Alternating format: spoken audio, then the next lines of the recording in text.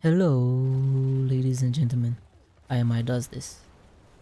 Welcome back, or if you are new, welcome to part 2 of ranking all 10 legendary weapons currently available to you in the demo. If you are new and have not watched part 1 yet, head on over to the description down below, where I will leave a link to that video. It is time! Top 5 ranked legendary weapons. So without further ado, let's get it. Number 5. Voodoo Matchmaker. This is an assault rifle with a clip size of 40. Easily manageable recoil and a slight increase in bullet spread the longer you fire. Its tier 3 mod is Ultimate Link.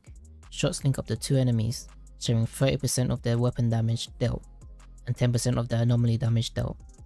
Its tier 1 mod is Vulnerability Bullets. Shots inflict vulnerable on enemies. Cooldown of 8 seconds. This will be a good ad clearing weapon with the mods it has.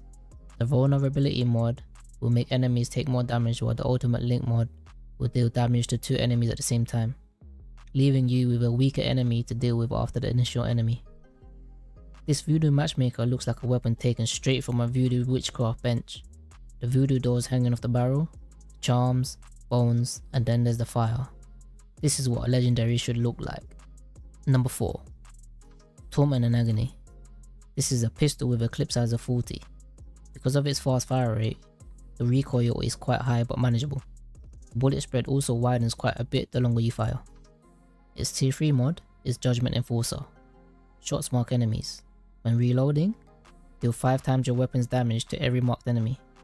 Marks are removed when you change your weapon. Its tier 1 mod is Clip Combustion. Reloading weapon creates a shockwave, dealing X amount of damage to enemies within a 5 meter radius. This weapon, or its mod, Judgment Enforcer, will be great at ad clearing early and late game. Shoot every enemy you can see and then continue to unload the clip onto a single enemy or boss. Then as you reload, all the enemies you shot will take 5 times the damage your weapon deals. The blue glow with the flames emitting from it make this weapon look amazing. You may see a pattern here of why these weapons are ranked the way they are. Number 3. Thunderbird. This is an assault rifle with a clip size of 40. Very easily manageable recoil and very little bullet spread. This tier 3 mod is Ultimate Storm Whip. Shots bring down lightning on an enemy, dealing X amount of damage. Its tier 2 mod is Striga. 30% of critical damage is returned to you as health. This weapon on paper should be number 1 in terms of the way it looks, the mods, and the cool lightning it brings down when hitting an enemy. The looks. I mean, the bone structure, the blue glow, the lightning emitting from it, and that blue pulsing ball with the blue flames emitting from it. Just beautiful. I am a sucker for glow and effects on weapons. The Ultimate Storm Whip mod, just think of Mjolnir, but gun version. As long as your aim is on point, the Striga mod can keep your health up with that 30% when dealing critical damage. Number 2. Aerie Master. This is a pump action shotgun with a clip size of 3. Its bullet spread is quite wide. Its tier 3 mod is weightlessness. Shots inflict time rift on enemies. Time rift raises the enemy into the air for 5 seconds. Its tier 1 mod is critical point. Increases the chance of scoring a critical shot by 15%. A clean looking shotgun with an eagle on top. The weightlessness mod is what makes this weapon number 2. It interrupts elites using skills and suspends them into the air for 5 seconds.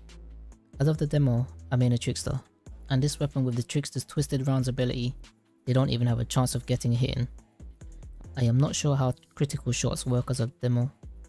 So far, it seems it is tied to headshots weak points, but an extra 15% chance of hitting a critical shot is bonus damage that the Aerie Master already does a ton of. And finally, number 1. Rarog's Gaze.